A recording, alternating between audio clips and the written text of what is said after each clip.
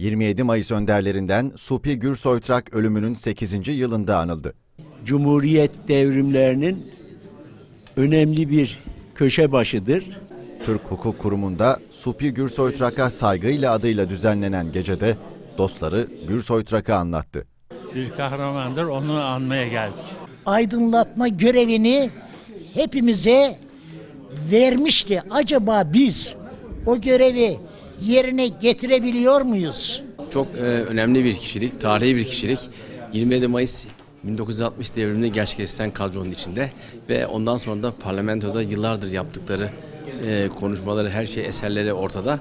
Saygı gecesinde Supi Gürsoytrak'ın oğlu Faruk Bozkurt Gürsoytrak ulusal kanala konuştu. çok zor bir zamanlarda e, aydınların katledildiği bir dönemde her türlü korkuyu, her türlü endişeyi bir kenara bırakarak anti-emperyalist Mustafa Kemal Atatürk'ün çizgisinde geleceğe de ışık tutacağını düşünüyorum.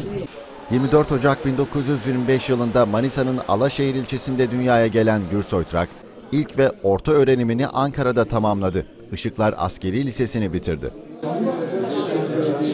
Supi Gürsoytrak 1945 yılında Kara Harp Okulu'ndan, 1947 yılında Topçu Okulu'ndan, 1949 yılında Kara Havacılık Okulu'ndan mezun oldu. Türkiye'ye döndükten sonra 27 Mayıs 1960 ihtilalini yapan Milli Birlik Komitesi'ne katılan Gürsoytrak, 1994-1998 yılları arasında Atatürkçü Düşünce Derneği Başkanlığı da yaptı.